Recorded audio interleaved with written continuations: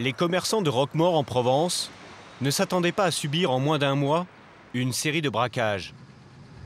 Le premier a eu lieu le 28 avril dernier, à la station essence située à la sortie de la ville. Ce jour-là, Patricia ne travaille pas. C'est son collègue qui est de service. Mon collègue rentre et il y avait un monsieur à la presse. Donc euh, le monsieur était de dos. Il ne voyait pas sa tête, il voyait rien du tout, il voyait juste un homme qui était de dos. Alors il lui dit Monsieur, je suis là, c'est pourquoi? Le client se rapproche et lui demande des jetons de lavage. Quand le pompiste se baisse pour les chercher, l'homme lui saute dessus. Mon collègue, en se baissant, il est arrivé sur lui, il l'a bombé à la bombe lacrymogène. Mais pas seulement. Le braqueur lui pointe aussi une arme sur la tête et réclame la caisse. Il ne savait pas si c'était une vraie, une fausse ou. Hein, donc il ne savait pas. Donc il a pris peur, il a été choqué et donc il lui a donné, tout simplement. Il est dans quel état votre collègue aujourd'hui? Il est toujours en arrêt d'accident de, de travail. Qui était cet agresseur? Pour Patricia, c'était évident. L'auteur de ce braquage en pleine journée devait être un jeune voyou ultra violent. Quand on lui a appris l'identité du voleur présumé, elle n'en est pas revenue. Franchement, euh, je pensais que c'était bon, euh, des jeunes qui ont besoin d'argent, etc. Mais jamais j'aurais pensé que c'était un papy. Jamais j'aurais pensé que c'était quelqu'un qu'on connaît, quelqu'un qui vient régulièrement. Car ce dangereux malfaiteur ne serait autre que cet homme de 75 ans qui habite le village. Son nom, Claude Brossy, et c'est loin d'être un délinquant. Jamais de sa vie, ce retraité n'a eu affaire à la justice. Pourtant, pendant un mois, il aurait donc semé la peur chez les commerçants des environs. Au départ, personne n'avait identifié l'agresseur, car il portait une perruque, une fausse barbe et une grosse paire de lunettes. La station-service serait son seul braquage réussi. Les autres hold-up dont on l'accuse semblent dignes des pieds nickelés. Il tente de s'attaquer au bar de son quartier, mais à l'intérieur, les clients repèrent immédiatement son maquillage grossier, alors il prend peur et repart. Le plus incroyable, c'est que pour prendre la fuite, il n'avait pas prévu une voiture puissante, mais un vélo. Bref, on est loin des méthodes du grand banditisme. Et cet amateurisme va bientôt jouer des tours au vieil homme. Le 6 mai dernier, le retraité arrive dans cette épicerie. Il est midi, le dernier client vient de sortir.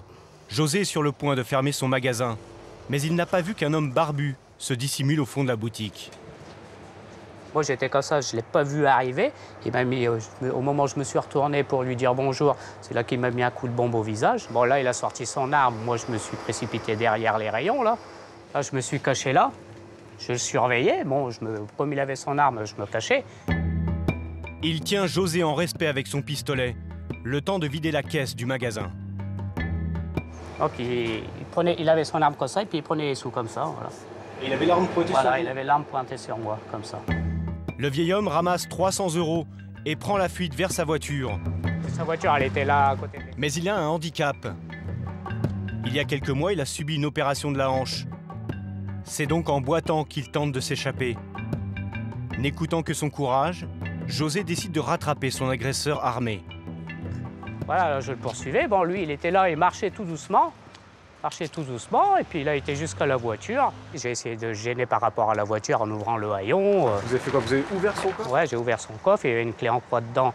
J'ai cassé les vitres sur le côté. Bon, il me braquait toujours avec son arme, donc j'étais baissé. Là, il a fait une marche arrière, hop, il est reparti avec le haillon ouvert, puis il est reparti. À cause de son déguisement, José n'a pas pu identifier son agresseur. En revanche, il a noté que le braqueur roule dans une vieille Renault Safran. Avec ses deux vitres cassées, la voiture est maintenant plus facilement reconnaissable. Munis de ces informations, les gendarmes font le tour des garages de la région. Et c'est dans celui-ci qu'ils vont retrouver la trace du propriétaire du véhicule. Un des employés a accepté de nous parler, il a préféré garder l'anonymat. C'est souvent qu'on a des mails en disant qu'il y a telle voiture qui est recherchée par la police et qui a eu un problème à tel endroit, donc euh, telle voiture, et, et puis ça marchait. Bingo Là, la safran m'a marqué un petit peu parce qu'on n'en fait plus guère, par vous explosés. C'est sûr que le gars, il serait jamais léché. C'est ça, vrai. Jamais finissé. Grâce à la facture, ils obtiennent son nom et son adresse à Roquemort. Le 17 mai, à 6 h du matin, les gendarmes débarquent en force chez lui Ils sont une dizaine car ils craignent que le malfaiteur présumé ne se serve de son arme. Ils ne tombent pas sur un dangereux braqueur, mais sur un couple de retraités. La vieille dame est sous le choc quand son conjoint est arrêté par les gendarmes. Je dis, c'est pas vous vous trompez, c'est pas lui. Il m'a dit effectivement si. Et puis il m'a expliqué comment il l'avait fait. euh. D'ailleurs, Claude reconnaît très vite les faits. Pour comprendre ce qui s'est passé, Eliane a fouillé toute la maison après l'arrestation. Et c'est dans le garage à côté de sa Renault Safrane qu'elle a trouvé un petit miroir qui n'avait rien à faire là. Elle en a déduit que c'était ici qu'il se maquillait avant chaque braquage. Je me suis demandé ce qu'elle faisait cette glace-là. Et là, vous vous êtes dit Ben, c'est là qu'il devait le faire. Pendant la perquisition, les gendarmes tombent sur son déguisement et sur son arme. C'est un pistolet d'alarme qui tire des balles à blanc, un revolver factice qui ressemble à un vrai. Claude Brossy est incarcéré à la prison de Nîmes. Un choc dont Eliane ne se remet pas. C'est trop difficile.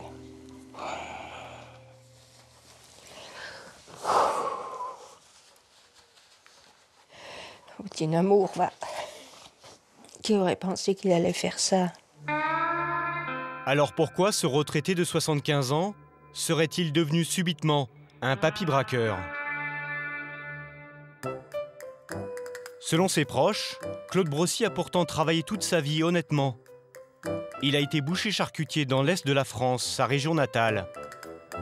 Avec sa première femme, en 1960, il ouvre une première boucherie dans la banlieue de Nancy. Le couple a deux enfants, une fille, Fabienne, et un fils, Sylvain. Ah, c'était, c'était, c'était la boucherie où c'est qu'étaient mes parents. La boucherie n'existe plus, c'est devenu une pizzeria. Ça, ça fait quelque chose quand même parce que je sais exactement euh, où c'était. Je sais qu'ici, euh, il y avait un, un mur euh, de briques rouges en bas, il y avait la vitrine, la porte d'entrée était ici, le comptoir était en long, les frigos étaient en face. À l'époque, la vie du père de Sylvain ne ressemble en rien à celle d'un malfrat. Au contraire, c'est un travailleur exemplaire qui ne compte pas ses heures pour faire tourner son commerce. Il se levait le matin de bonne heure, je pense que c'était vers 5h, 5h30. Il chargeait sa camionnette, il allait faire les tournées. Il revenait à midi, il faisait tout ce qui était confection, je veux dire alimentaire, aussi bien un petit pâté, il a des os, etc. euh, l'après-midi. Et le soir, il avait encore la tête dans ses comptes parce que c'était un bosseur et il faisait tout lui-même. Mais la vie du boucher va bientôt être bouleversée. Après 26 ans de travail acharné, les parents de Sylvain divorcent et vendent la boucherie familiale. Claude Brossy ne reste pas longtemps seul. Il refait sa vie avec Eliane. Il n'a plus de boutique, mais un camion de boucherie avec lequel il fait les tournées dans les villages. À ce moment-là, il gagne correctement sa vie et mène une existence tranquille. Mais un drame va le bouleverser à jamais. À 36 ans, sa fille Fabienne se suicide. Ce choc peut-il expliquer qu'il en soit arrivé là? Bonjour En tout cas, Claude Brossy est désespéré. vas bien? Ça va. Il se confie à sa sœur, Marie-France. Ah, effectivement. Tu vois, celle- celle-ci, Ma grand-mère, ma soeur, mon père. ça a démoli tout le monde. Ça, c'est vrai que la famille en a pris un coup là. Ouais. Et ça n'est jamais remis, même aujourd'hui encore. hein. Mhm. Il, il s'est enfermé sur lui-même. Oui, oui, il il, Ouais, ouais. euh, il est resté euh, enfermé, c'est tout. C'est resté dedans, quoi. Depuis ce drame, Claude Brossy prend des antidépresseurs. Aux yeux de tous, il a repris le dessus et il force l'admiration de ses proches. Car malgré son malheur, il se lance un nouveau défi. Il rachète deux boucheries dans les Vosges. Pourtant, derrière l'image de l'entrepreneur dynamique, quelque chose s'est cassé. Il ne gère plus aussi rigoureusement son affaire. Et au bout de cinq ans, il fait faillite. Jean-Pierre Rémy lui rachète ses magasins. Bah oui, c'est pas évident, faut toujours être dedans. Puis je pense qu'il y a un âge pour tout. Hein. Qu'il avait deux boucheries ici, lui. Hein. Deux boucheries. Ah, pas plus le marché. Hein. Bon, Est-ce qu'on est encore capable, à l'heure là, à, la- à 60 ans, de faire tout ça? Euh, Plus sa fille qui s'est suicidée, c'était peut-être dur quand même, je pense. Je veux dire que nous, quand on a repris, il n'y avait plus de clientèle, de toute façon, ça c'est sûr. Endetté, Claude Brossy doit vendre son commerce et sa maison. À 65 ans, il est ruiné et veut oublier cet échec. Avec les maigres économies qui lui restent, il décide de partir dans le midi de la France. Il m'a dit oui, mais tu sais, c'est comme la chanson de, de Charles Aznavour, la misère, elle est moins pénible au soleil. Il pensait euh, que ça irait mieux dans le midi. Il me dit, puis tu sais, ici, ils m'ont tout pris. je, veux plus voir la, la région. euh, il avait la région en horreur, si tu veux, parce que bah, ils m'ont tout pris ici, quoi. Dans le sud, Claude Brossy s'accorde un peu de bon temps.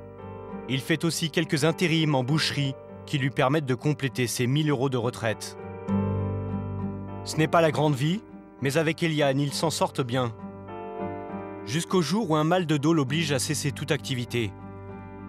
Il ne supporte pas d'être inactif, il se met à prendre du poids. Et maintenant, les fins de mois sont difficiles. C'est en tout cas ce qu'affirme son avocat Pascal Griffoul, qui a regardé ses relevés de compte. Il a des revenus euh, qui sont modestes sans être non plus au niveau euh, des minima sociaux et euh, il n'arrivait plus à faire face à, à ses dépenses. Depuis plusieurs mois, Claude Brossy multipliait les découverts. Bonjour. Bonjour, brigand. Eliane n'était pas au courant. Elle ne s'est jamais occupée des dépenses du ménage.